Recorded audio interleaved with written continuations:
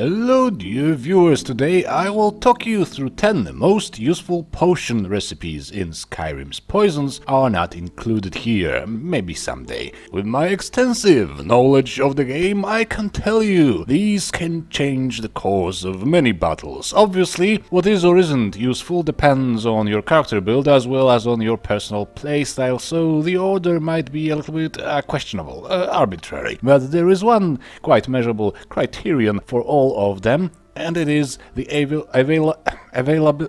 Hmm the availability of the ingredients. So that was my main reasoning behind this particular order. I hope this can be helpful to some players that never really dabbled in alchemy because alchemy is awesome and can make a whole world of difference. Needless to say, this is about the vanilla Skyrim, depending on your mods, your load order, your uh, experience may be quite different and your opinions of what is useful can of course be also very different. Uh, also, uh, uh, they tell me that I should beg for likes and subs more often, so uh, yeah, you like Skyrim, then you like builds, and then you probably may like my channel, so like, subscribe, and come back for more. I absolutely hate doing that uh, at, at, the beginning of the video, it's horrible, I feel filthy.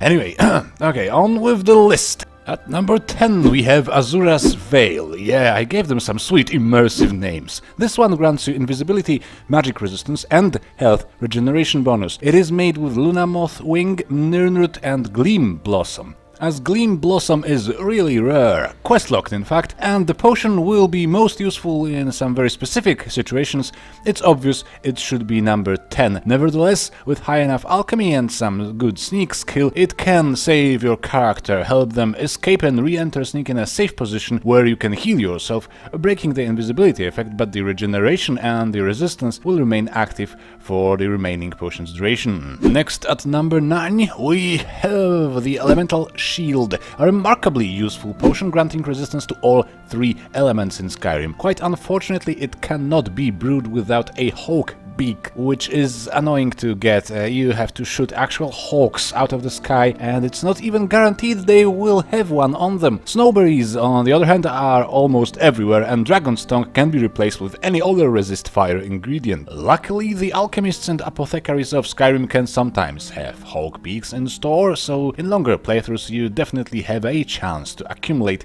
a few of them. You can keep the potion specifically for the dungeons filled with various spellcasters. There are no storm dragons in vanilla Skyrim and the Draugr usually use frost, so this one is a thing for a very special occasion. Moving on to number 8, we have the Spell Surge potion, awfully useful to any sort of magic user, but unfortunately including two not so common ingredients. It restores your magicka, increases magicka regeneration and fortifies magicka. Every time you find yourself in a longer fight and maybe you overestimated your beloved wizard's power, uh, this one can save your life. You need ectoplasm, moon, sugar and jazbay grapes, unless you are hellbent on finding all the Khajiit caravans to buy their sugar and hunt for ghosts all the time, in the very few locations where you can actually find ghosts in Skyrim, you won't be able to have a good batch of these. Still, some patience can go a long way. Maybe in your late levels you can use it, but then you won't really need it as often in, in the late game.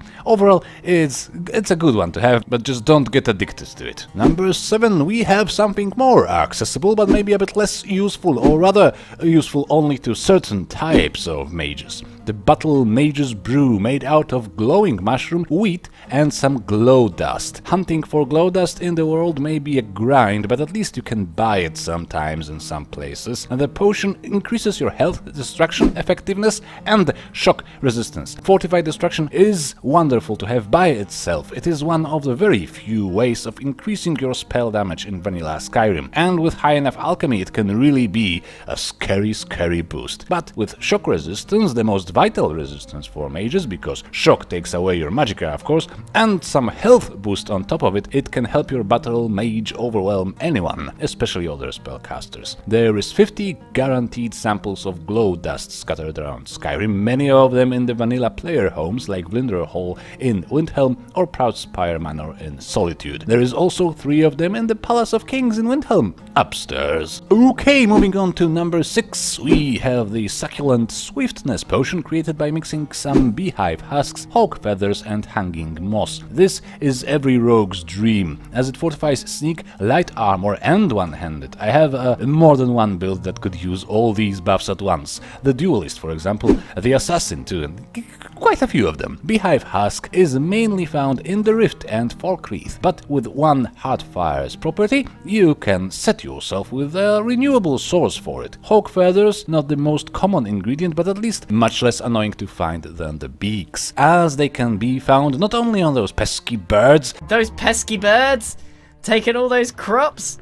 Pesky birds! but also on the even peskier Silver Hands Vigilants of Stendarr and in apothecary satchels around the world. Overall, sooner or later you will have enough ingredients to craft a little batch of this potion, meaning your skulking, backstabbing and throat cutting should be greatly improved. Okay, now for the top 5. Yay! On the honorable 5th position we have the Mage Slayer's Magic, a potion increasing your block stamina and magic resistance, perfect for characters who don't do magic themselves but need to slay some mages. Additional stamina will let you execute more power attacks and bashes, which are perfect for interrupting spell casting. If you are using a shield and have the elemental protection perk in block, this potion will also combine nicely with the perk and increase one of your key skills. A boar Tusks are not easy to obtain outside Solstheim, but when on the island you should be able to gather a few when exploring, so it's somewhere in the middle in terms of accessibility. For number 4 we have Illusion Ingestion, a very handy one for any mage using Illusion, a skill by the way that sometimes desperately needs a buff, well sometimes merely in the early game. Fortify Illusion Alchemy effect increases the maximum level of enemies that can be influenced by mind affecting spells, which with high enough alchemy means you only need the dual casting perk and a good Fortify Illusion potion to control the behavior of most enemies, barring maybe the boss level ones. This particular potion also restores your Magicka and fortifies Magicka regen. Magicka regeneration is more useful for characters casting a lot of low level spells as opposed to always going for the strongest. Uh, so the potion is perfect for people with a fairly limited perk point investment in the illusion skill to temporarily become masters. It is crafted with dwarven oil, Mora Tapinella and some garlic. Dwarven oil is not the most common ingredient, but not the rarest either. Now number 3, the sorceress solution, made with garlic, jazbay grapes and emperor parasol moss.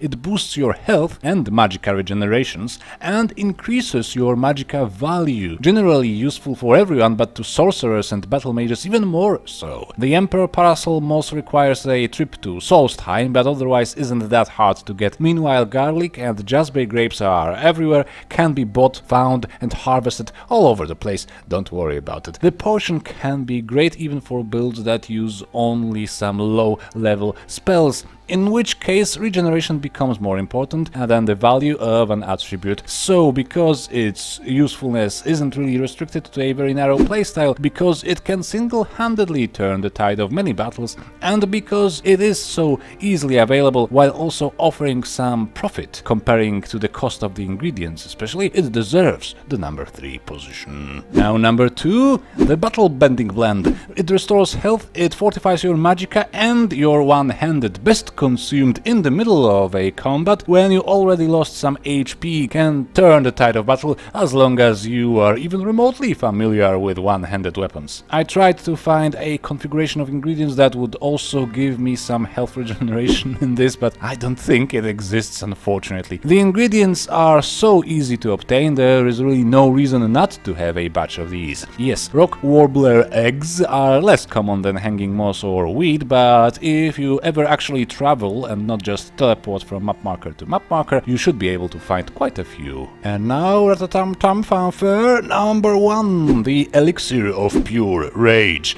The potion that, with high enough alchemy, can turn anyone into a bloodthirsty berserker at the price of a few flowers and mushrooms that grow everywhere. It has four effects, one of which, Fortify Illusion, may not be that useful for berserkers, but can be for mages and all the warrior mage hybrids. It has fire resistance for all the dragons you have to face. It has Fortify Stamina Regeneration, which is arguably the key effect for any successful warrior, as it allows for more power attacks, and then it also fortifies your you're two-handed, increasing your damage output greatly. I vaguely remember squealing like a little girl when I first discovered this recipe, even if for some reason you don't need any of its wonderful effects, it is a great source of income because, well, as I said, it's not hard to find the ingredients and they're very cheap. The ingredients are, by the way, Mora Tapinella, Dragon's Tongue and Fly Amanita.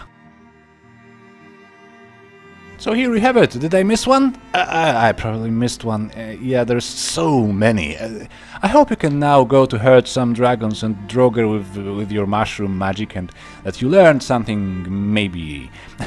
leave a comment, leave a like, leave the safety of your hometown and go on an adventure. We shall see each other again. Yeah. Yeah, bye bye If you like that video, you're gonna love the next one. I hated that Well, then you're gonna love the next one. Calm down,